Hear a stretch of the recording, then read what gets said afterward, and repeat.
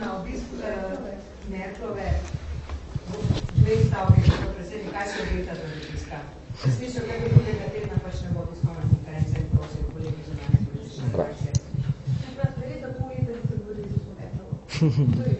Ne. Ne, kje ne.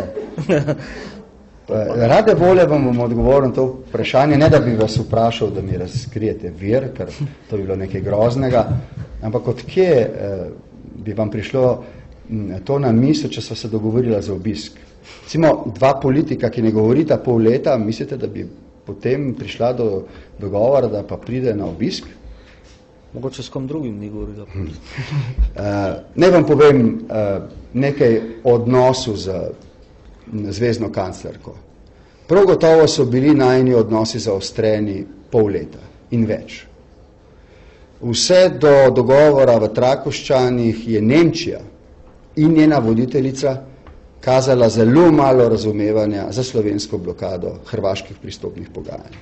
In v njej nisem imel zaveznice za svoje ravnanje. Večkrat sem jih poskušal pojasniti razloge, vendar je razloge odklonila kot legitimne. Za Trakoščani so se začeli tudi med nama, pa tudi med Slovenijo in Nemčijo, odnosi znova eh, izboljševati. Ko pa je bil dosežen dogovor med Hrvaško in Slovenijo glede arbitražnega sporazuma, je Slovenija v nemških očeh dobila visok ugled. In rad bi vam odkrito povedal, kot sem na začetku rekel, da so najni odnosi trpeli zaradi moje odločitve v blokadi, da so se potem, ko je Slovenija povlekla to potezo in kot veste je bila to moja pobuda, sva s kancerko Merklovo uh, vse do danes zelo dobro sodelovala. Nimava odvečnih besed, imava pa vse tiste, ki so potrebne za dobre bilateralne odnose in za skupno nastopanje glede vprašanj, ki zadevajo eurocono in eh, prihodnost Evropske unije. Rad bi vam tudi povedal, da se o mnogih stvareh, eh, bodi si, eh, kot se temu reče, step aside, na sestankih pogovoriva kratko, a učinkovito, in da se najna kabineta o tem dobro pogovarjata. In eh, ne jemljite obiska kot samoumevnega. Kancerki Merklovi ne bi bilo potrebno priti.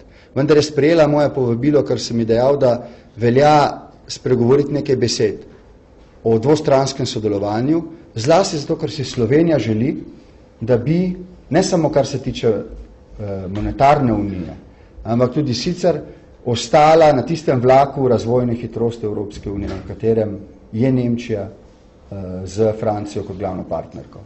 In drugič, ker se mi zdi, da lahko Slovenija pomaga razumeti Nemčiji nekatere procese, ki tečejo na Zahodnem Balkanu, kar je nem, nemška kanclerka poskušala ugotoviti tudi sama z obiskoma na Hrvaškem in v Srbiji.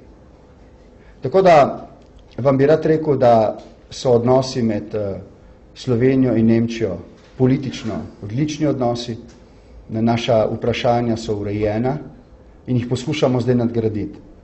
Če bi bilo tako, kot ste postavili z vprašanjem, prav gotovo ne bi bila v pripravi deklaracija o vsestranski poglobitvi odnosov. To bo, koliko razumem, dosedanjo nemško preteklost po vojni, prva taka deklaracija, ki jo bodo uh, v tem smislu uh, sicer ne podpisali, ampak sprejeli ob obisku nemške kanclerke ali kanclerja v kakšni drugi državi. Tako da se tega obiska veselim, bo vsebinski in želim ugotoviti, kaj Nemčija kot gonilna sila Eurocone in Evropske unije eh, pričakuje od Slovenije za to, da bomo ostali zvesti in trdni partneri in kaj lahko Slovenija ponudi glede teh konceptualnih vprašanj, s katerimi se najbolj Nemčija ukvarja, ker imamo nekatere zamisli. Ne gre samo za to, da bi mi poslušali zamisli nemške strani, ampak nemško stran zanima tudi nekaj zamisli z naše strani in pogovarjali se bomo gotovo o razmerah v Zahodnem Balkanu. Kjer je Slovenija s procesom Brdo, mislim, da bo to tudi omenjeno v deklaraciji, storila zelo veliko za to, da je zdaj kljub nekaterim znakom eh, zaostrene eh, varnostne situacije mir in eh, stabilnost. Hvala. Hvala predsednik, hvala tudi vam.